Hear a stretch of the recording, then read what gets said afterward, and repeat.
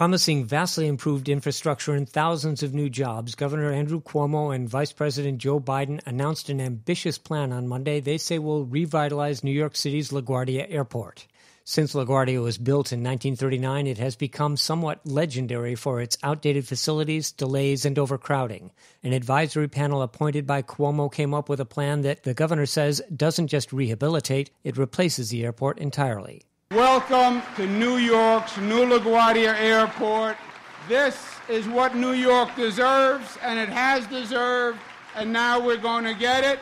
The plan calls for consolidation of terminals, a new hotel, expansion of taxiing space for aircraft, and improved access to public transportation. It will break ground next year, and the first half of the project is expected to be ready to open to passengers in 2019.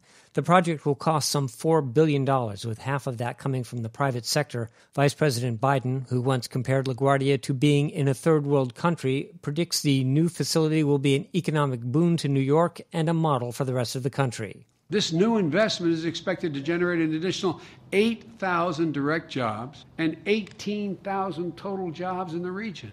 Middle class jobs, jobs you can raise a family on.